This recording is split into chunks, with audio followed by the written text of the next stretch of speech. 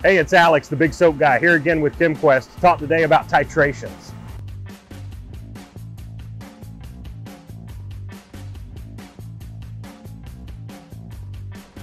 In this video, we're going to show you how to titrate your pre-soaks. To do this, you're going to need the following. One graduated cylinder, your titration kit including a test tube, mixing vial, your bottle of either alkaline or acidic pre-soak reagent, your bottle of indicator solution, and your technical data sheet that has your titration chart on it. Once you've got all these items, it's time to get your sample from the bag. Turn the function on and take your graduated cylinder into the bag.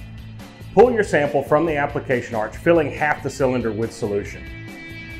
Once the solution is settled in the cylinder, fill your 8 ml mixing vial with the solution.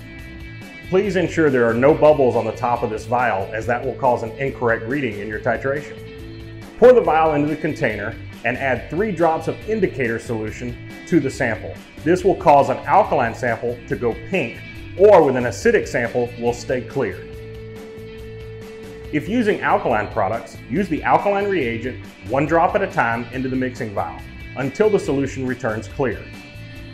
Once your solution turns clear, take the number of drops and refer to your titration sheet. Now you can see what your product's titration is based on the drop count. If titrating an acid product, you're going to take the acid reagent and apply one drop at a time until the solution turns pink. Now that you have the drop count for your acid pre-soak, refer to the technical data sheet to find your titration based on the number of drops used. Titrations for your products vary from location to location and from different seasons.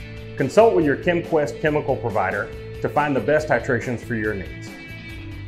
Thanks for watching. We hope you found the information in this video useful for your wash. If you'd have any other subjects you'd like us to cover, mention below.